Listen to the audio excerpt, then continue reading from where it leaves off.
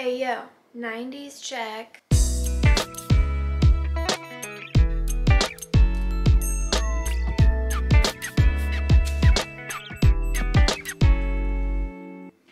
And welcome to my YouTube channel. My name is Kayla, otherwise known as Let's Get Knit Faced here on YouTube and over on Instagram if you want to follow me there. And I want to share with you this 90s inspired crochet bag tutorial. And these are really cute and playful and on trend right now and I'm excited to share them with you.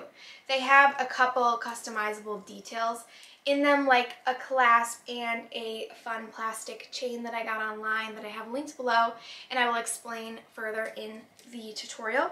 So there's those options to change up the colors and also I explain how you can hold different yarns together to achieve the same weight as a chunky weight yarn in this pattern. So that gives you the opportunity to kind of explore some fun color combinations here like I did with this bag which I adore. So that will be there for you.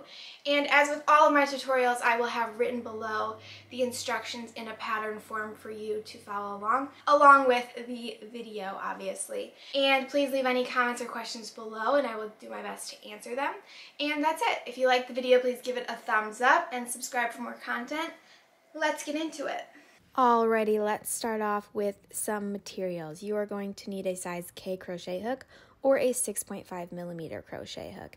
And you are going to need some chunky weight yarn. I personally love the fabric yarn as I have used before on this channel by We Are Knitters. This is a cotton recycled t-shirt yarn. It's great for making durable things. Um, it is in the color light yellow. If you do not have a chunky weight yarn, but say you have a bunch of other yarn laying around, you can make a chunky weight yarn by holding three strands of a four ply yarn, um, which tends to run a little bit cheaper. And you can make a fun color combination or just an overall more personalized bag. And I really love these three colors held together. I think it turns into a really cute bag. So that option is there for you. You can go with that. Or a chunky weight yarn. And for visual purposes, I will be using the yellow chunky yarn in this video because I think it's easier to see um, and less distracting. But this is how that other style turned out. I think it's really cute and really playful. Um, and you can see it shows the pattern really well with the variegated yarns. And I even added in a chain of those yarns in this chain that I got on Amazon, which I will link below and I will talk about later in the video. So this is how the bag turns out. It kind of has this open billfold style with a flap that comes down. And I also picked up these clasps that I also bought on Amazon and I will link below. And they work by pushing it down and then the button kind of pops out so it is secured. And then you push it back in and you can release it. So that I did not secure onto this bag yet um, just because I wanted to be able to show you what it looks like without it. But that top piece would fit onto the flap and the bottom piece would be secured onto the body of the bag. And I will show you how to attach that later into the video. Okay, so let's talk stitches for this bag. It uses the basket weave stitch, which I really like for its texture and visual interest that it gives the bag. And I think it really helps those stitches stand out, which goes well with the chunky weight yarn. And the bag is made by this longer piece folding over and a front panel rectangle piece and then a trim piece to add some width to the bag um, so you can fit more things in it. And this process is the exact same one that I used to make this bag. Again, just the yarn held together is a bit different, but if you like the way that this turned out, that is what you should get with this tutorial. And for this bag, the yellow, I thought the gold clasp would go well with it. The package that I bought on Amazon came with two silver clasps and two gold ones, so I got to choose. So I think I'll do silver on the other bag, gold on this one, and this is the chain that I got to go with the yellow yarn. It is a lovely tortoiseshell pattern and I think it'll be really pretty with that. And I, I had the pink one go with the more colorful bag. And the the seller of these had other options like black and like clear so you could play around with that. But I really liked the tortoiseshell. And it comes with rings, so it has two gold attachment rings that open and close, or it has two silver ones. So you can choose kind of what your vibe is if you're more of a gold person or a silver person. I definitely am a gold person. So I went with the gold clasp and the gold rings for this.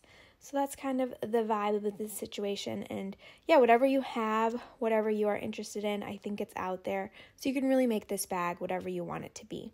Again, those clasps and those chains, um, and I can even link the, the We Are Knitters yarn below so you know what's the tea, all right? So without further ado, let's get into the process of making this bad boy, huh? So this bag will suck up a lot of yarn because this is kind of a denser pattern and um, it forms a thicker paneled bag, which I think is something you want in a purse. Um, but yeah, it definitely uh, sucks up a lot of yarn. So I recommend pulling a lot out at a time because it's annoying to have to go back and, you know, unwind some. So let's start with a good old fashioned slip knot. And what we're going to do to start, we're going to chain 24 stitches and two turning chain stitches. So that will give us a total of 26 chains to start off this bag. And throughout this process, I'm going to stress that you keep your tension pretty light here so that the stitches um, you're making are easier to work into because sometimes this pattern can get a little bit tight and hard to work. So keeping that tension loose will help with that. Once we have our 26 stitches, we are going to yarn over and then we're going to be careful to skip those two turning stitches, which is making up for that first double crochet. And we're going to begin by working into the, the top loop of the third um, chain there. So we're working into the top half of it and then we're beginning our double crochet stitch which involves yarning over, pulling through the first two loops, yarning over, and then pulling through the second two loops. So there I go yarning over, working into the top of that chain, pulling through, yarning over, pulling through the first two loops, yarning over, and pulling through the second two loops. And that is the double crochet stitch, which will be around um, in this tutorial. So definitely get used to that. And you can watch me do a couple more of those if you are unfamiliar with the stitch. And again, keep your tension loose here so that as you're working across, you just have um, an easier time working.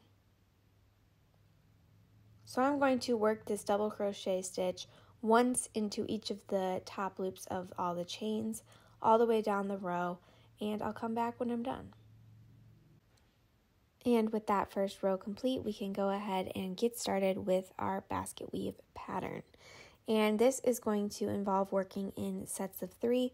And if you get caught up on any part of this, please just rewatch the video and I think it will become more clear as I make my way down the row. So don't get frustrated if you don't understand it within the first couple stitches. And it's going to be very important to keep your tension loose here because I do not have any turning stitches into built into this pattern because I think if you just keep your tension loose enough, it will work without it. And this pattern is done by working into the posts of the previous row's stitch, which is what I'm trying to show you here with this darning needle. So we're going to be working sometimes through front to back of the post or back to front of the post. So to begin, yarn over, and then we're going to, on this first stitch, work into the back of the post of that previous double crochet. So I'm going through, yarning over, and very loosely with a lot of slack, pulling through and then I'm going to yarn over and I'm going to double crochet as usual. So that means I'm going to, I guess, struggle to pull that loop through the first two, two loops on the, the needle and then I'm going to yarn over and pull through the second two loops, again making sure that I have enough slack to kind of pull through a bit more yarn than you normally would. So now I'm going to yarn over. I'm going to work behind that second post and I'm going to grab my yarn and I'm going to pull that up flat and parallel with the row. Then I'm going to yarn over and pull through two loops and yarn over and double crochet as usual. Now third and final one of these for this moment, we're going to yarn over, find that third post, work behind it. Grab that working yarn, pull through with some slack, and then I'm going to yarn over pull through the first two loops, yarn over, pull through the second two loops. And then you can kind of pull that out and that was our working in three. So now we're going to begin with our second um, three stitches. So now instead of the front, I'm going to pull from the back, push through, and go around that post from the back. Grab my yarn, and then I'm going to pull through back to where I began. And then I'm going to yarn over and then double crochet as usual. So bear with me as I do this a couple times and it will become more clear. So I'm yarning over, working from behind the piece into that space between the post, and then I'm going right over that and out the back. I'm grabbing my working yarn, coming back through exactly where I was and out the back. And then I'm going to pull, give myself some slack of yarn. Then I'm going to double crochet as usual. And it helps to kind of pinch your yarn here um, so that, or sorry, you pinch your, what you're working on so that when you pull through, you don't get caught on any other strands and it just kind of comes out clean. So right there, I didn't do it, so it didn't look as good. But um, this will this gets hard if there's not a lot of slack in your yarn. So I'm going to keep stressing that that's important. Okay, so that was my third stitch there. And that means I'm going to start working in the front now again for three stitches. So I just I've just yarned over and I'm going to go through the front and work into that post that way and double crochet as usual. There is a pattern beginning to form here, and that is what is going to give us that basket weaved look texture. I'm yarning over and I'm pulling through my working yarn from the front of the piece. That was number two. So now I'm going to do number three. Just be patient with this first row. It will get easier as you learn um, and work through it more and more so we can be we can begin to see the texture showing. Now we're going to work in the back of the piece for three stitches. Yarning over. Grabbing that post, see how I'm pinching the yarn together? Pinching the that row together so that it can come out a lot cleaner. And double crochet as usual. This stitch is fairly rough on your hands. I do knit and crochet a lot, so I guess my hands are a bit sore a lot anyway. But I do find that working with this thicker yarn, and this is a more laborious stitch um, as far as crocheting goes, it does take a toll on your hands. So just do it when you feel like it. Um, don't get too stressed out about it or frustrated. And again, having a loose tension will go a long way with this stitch. And as you go, you can kind of pull on it, stretch it out, make sure it's laying nice and flat. And then keep track of where you are in your stitch pattern. Now I'm back working in the front of the posts and double crocheting out. And I'm towards the end of the row now, but still working in pairs of threes. If you want a longer bag, feel free to cast on more, right? I had you cast on 24 stitches and two turning stitches. 24 is divisible by 3, but any number divisible by 3 will work with this pattern if you want a smaller bag or a longer bag. And then, of course, you can adjust how long you crochet for on top of that to get your height. Um, but this is very customizable and totally up to you. This is just the size that um, is most typical for a shoulder bag and came out cute. So now I'm back working in the back of the post. And you can see how that ball I was working with has already dwindled down quite a bit um, after not working too much of the yarn. So I will leave the exact yardage in the description um, because I do not have that number right now, but I will find it and leave it there below. And I'm out of frame, so that was a good job by me. Do you guys like my nails? I um, did them special for this video. So now we have three posts left because we're working in numbers divisible by three, which go best with our pattern. So I'm going to yarn over and work those last three stitches from behind the piece. And see, I have one full double crochet left, and then I have our two turning stitches there as our mock double crochet post. So those count. Those are what I'm going, oh gosh, right when I'm getting to the end, I needed more yarn. Get it together, you know? Well, I guess you can see how I attach these pieces, which is kind of exciting, you know, just like a little double knot. Super fancy. And then we'll be back to BAU. So um, so I'm yarning over and I'm working into that space in between the last stitch and the end of the piece and just working around that last post with my double crochet and that is the end of the first row. So not as bad as it looks. So what we're going to do is we're going to do the opposite of what we see in the row before for the row we're working right now. So we see these are elevated, so that means we are going to work in the back of the piece to create more of that valley in the pattern. So if I could just get back in frame here, I can show you what I'm doing. We're going to yarn over and we're going to find our first post and we're going to pull through our yarn.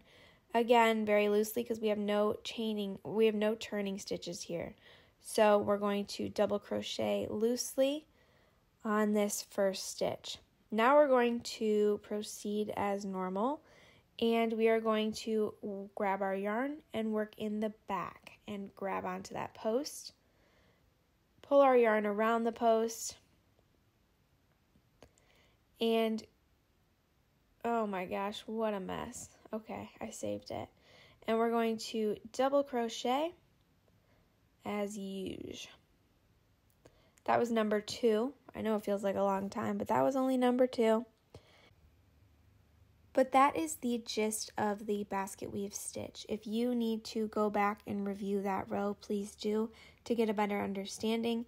I, it took me a couple tries to understand exactly how I wanted this stitch to come out. So go ahead and look back at that. But what we're going to be doing is that exact row for seven rows on this first panel. And that will be the shorter one that will go in the front of the bag and then you're going to cut your yarn and begin a second version of this. Exactly the same exactly the same number of stitches casted on and the same way we are going to work across except it's going to be a longer piece. So this piece will be 15 rows and all of this information will be listed in the description um, for you to go back and check on but that is what is going to make up the body of your purse so again, it's customizable. If you want it to be thinner, longer, wider, please go ahead and do so just by adding rows or adding on stitches that you cast on. I feel like this is a good jumping off point to really make whatever kind of purse that you want. And now let's get started on the trim panel that will go around in between these two pieces. So let's go ahead and get started with a handy dandy slip knot and then we are going to begin chaining 48 stitches plus two turning stitches which will go around the perimeter of the lower half of our little bag if you will. Okay so here I go chaining and again tension is important here. We are going to want to work not too tight and um, not too loose. So I'm going to put together those 50 chains and it's always a good idea to double check that you have the correct amount. Okay, so now we are going to skip two stitches, which would count as our first double crochet, and then we are going to begin by double crocheting into that top loop of the chain. So there I am working into that and double crocheting as usual. And that is going to be how the whole row is going to work. So you're just going to yarn over and double crochet into the top loop of each chain and I am going to fast forward through this because otherwise this tutorial will be an hour long. So now let's begin the process of connecting these three pieces together. And to do so, I am just going to single crochet across. And if you prefer to sew these together with a darning needle and a piece of the same thread, that is definitely an option. I'm just going to single crochet because it might add a little bit more security um, and a little bit more of a clean line, but totally up to you. So this might look a little haphazard, and that is because it is. So I am working through one of the kind of random stitches on that messier edge of the rectangle, and then the piece that I just completed has a cleaner edge, so it's easy to pick up a loop as you go along. Um, but then I'm just kind of finding a matching loop on the other side as I can't match them up perfectly because it's not really the same pattern. So I'm very messily going into one and going into the other, pulling a piece of pulling a loop through and then I'm single crocheting. And I'm just going to do this down the row and it can look a lot better um, along the bottom when there's a perfect loop to match up to a perfect loop.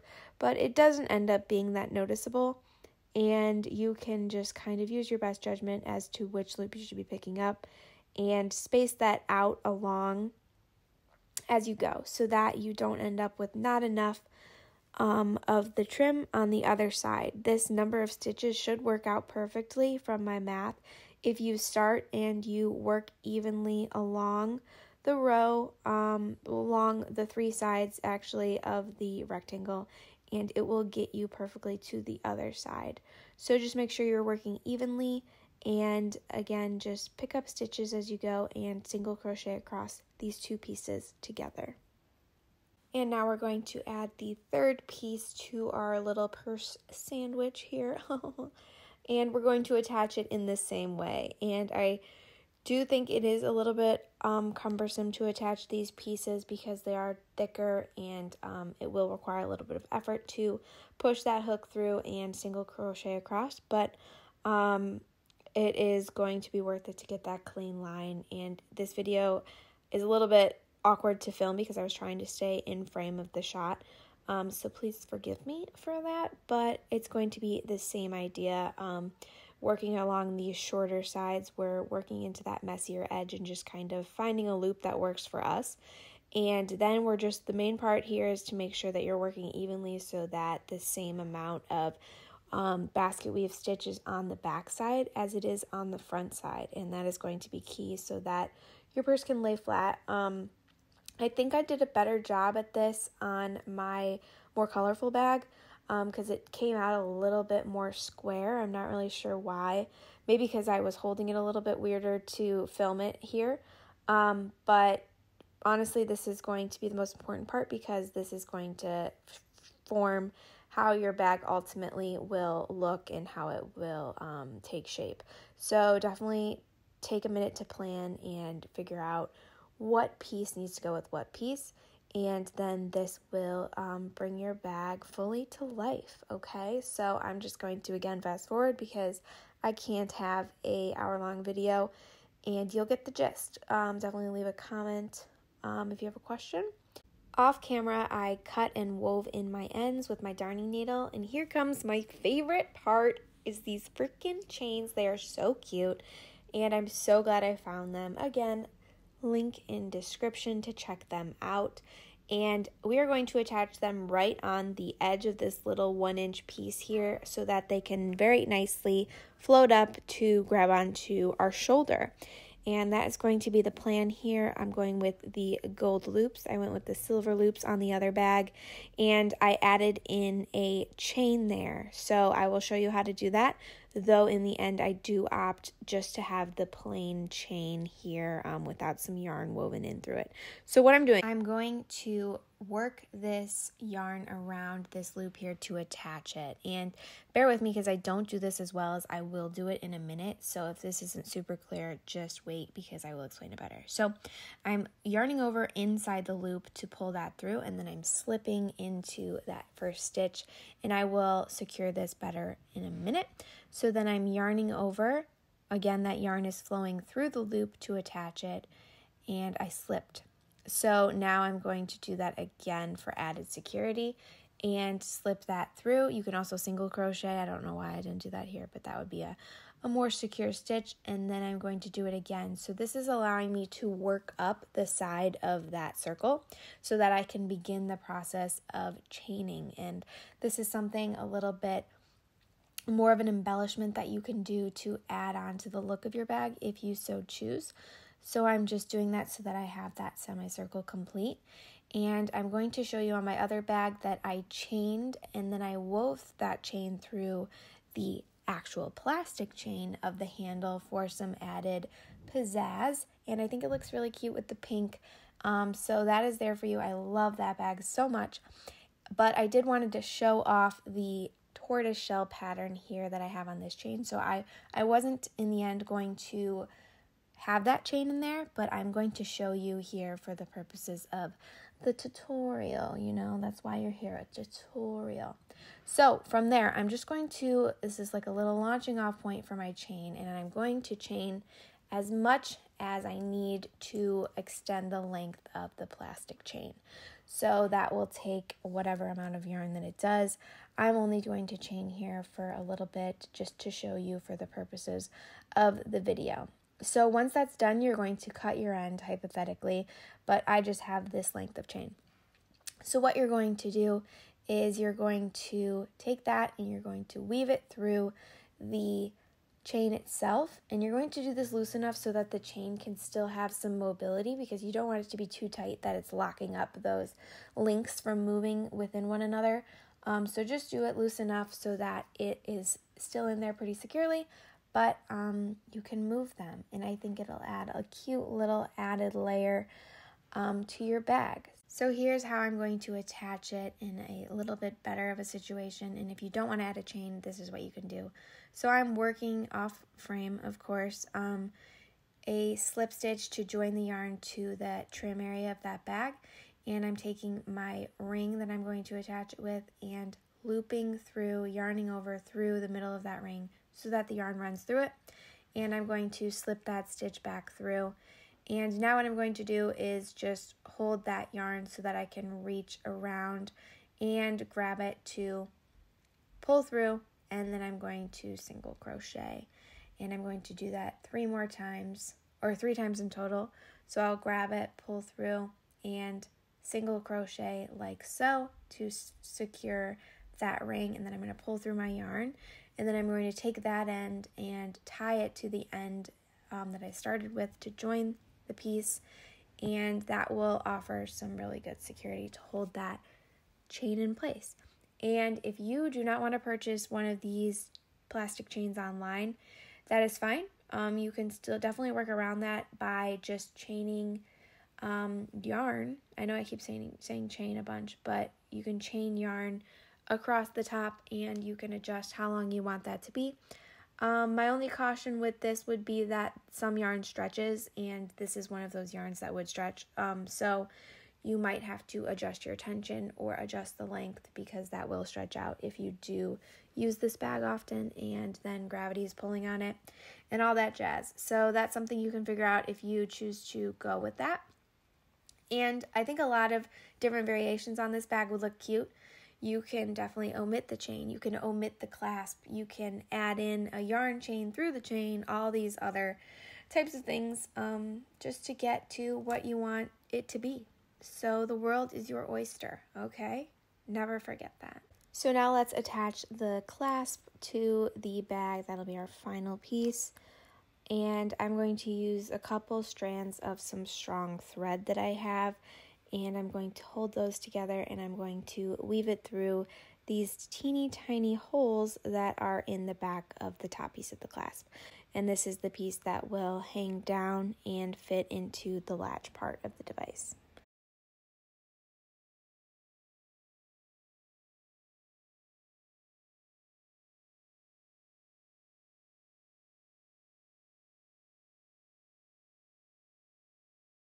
and then the bottom piece has these prongs on the back of them. It has two sets of prongs that I will feed through the the um, stitches of the bag and then I'm going to fold those over and then I'm probably going to somehow secure these more maybe with some glue um, once I decide that I for sure want this clasp and I'm going to um, set those up so they are even they're even distance away from the sides so that they're directly in the center and then the class should be secured. Thank you so much for watching. If you made it this far, I hope you enjoyed the tutorial and you found my instructions to be well explained. And hopefully you have a bag of your own if you made it this far. So that is it. Again, please leave any questions you have below. Comment anything you'd like to see me make. Subscribe, and I'll see you in the next one. Thanks.